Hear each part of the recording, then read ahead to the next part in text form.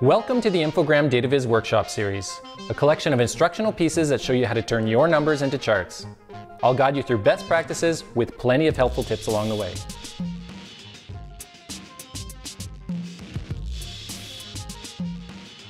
Hi, today I'm going to show you how to visualize parts of a whole, or percentages. Pie charts are a nice way to show segments that add up to 100%. Here you start at the top and go clockwise, from largest percentage to smallest. Infogram automatically starts you at the top, so make sure you put your largest value first. This way, readers will be drawn to your most important information right away. Instead of full pie chart, you can try irregular, which displays larger values as farther away from the center. Or you can switch to a donut chart. Add callouts to make it even easier for your reader to identify your slices.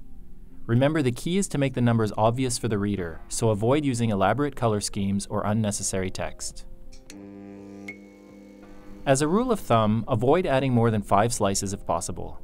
This keeps the message clear and easy to understand. If you'd like to add six or more slices, try and group all of the smaller segments into one group called Other. If you need to elaborate on your other segment, feel free to use a different kind of chart. A stacked bar chart is another great way to display similar information. Here's how you do it. Add a bar chart and select Stacked. Enter the values in percentages and make sure they add to 100. Now let's take a look at a different kind of part of the whole, progress. If you'd like to show simply how close you are to 100%, use a gauge. Just choose the style you'd like to use, enter the value, and include some text. For example, goal to date, and you're done. So as you see, visualizing percentages is quite straightforward. If you'd like to try alternate ways to visualize it, try using facts and figures or pictorial, but more about that in the next video, so stay tuned.